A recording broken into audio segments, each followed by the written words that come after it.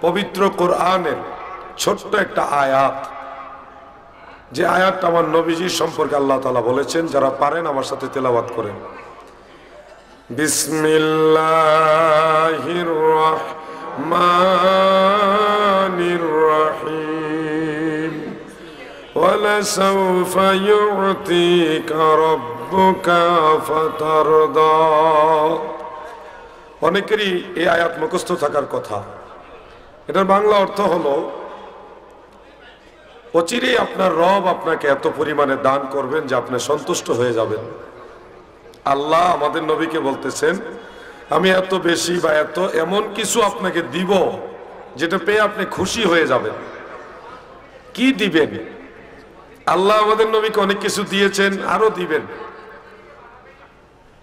কিন্তু এমন একটা জিনিসের কথা কেন আল্লাহ বললেন, যেটা পেয়ে নবীজি খুশি হবেন? এটার ব্যাখ্যা যদি করি, কোরআন কারিমের আরেকটা আয়াতাংশ আমি আপনাদের সামনে উত্থাপন করতে পারি। আল্লাহ তালা বলেন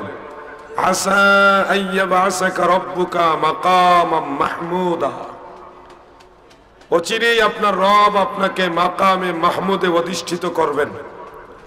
মাকামে মাহমুদ মানে রাইসুল মুফাসসিরিন হযরত আব্দুল্লাহ ইবনে আব্বাস রাদিয়াল্লাহু আনহুমা বলেছেন, রাইসুল ফুকাহা হযরত আব্দুল্লাহ মাসউদ রাদিয়াল্লাহু আনহু বলেছেন, প্রখ্যাত সাহাবী আব্দুল্লাহ ইবনে সালাম রাদিয়াল্লাহু আনহু বলেছেন এবং হযরত আব্দুল্লাহ ইবনে ওমর রাদিয়াল্লাহু আনহুমা বর্ণনা করেছেন, আল্লাহ রাসূল নিজেই বলেছেন, ফকি তবকার তাবেঈ হযরত মুজাহিদ রাহমাতুল্লাহ আলাইহি, তিনিও বলেছেন, মাকামে মাহমুদ হলো হাসরের ময়দানে সমস্ত মানবতার সামনে আমার আল্লাহ আমাদের নবীকে ইউজলি সুহু আলাল আরশ, আল্লাহর আরশের মধ্যে আমাদের নবীকে আল্লাহ বসাবেন।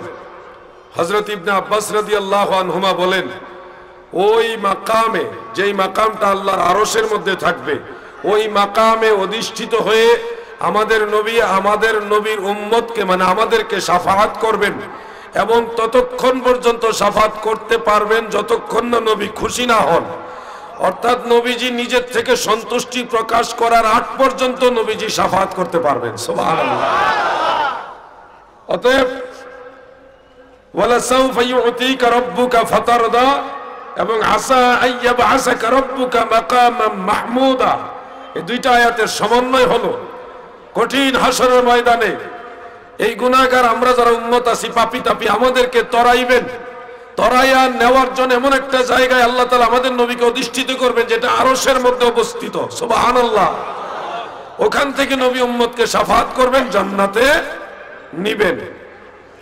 এতে কি আপনারা কেউ বেজার হয়েছেন? কারও মনে কষ্ট লেগেছে?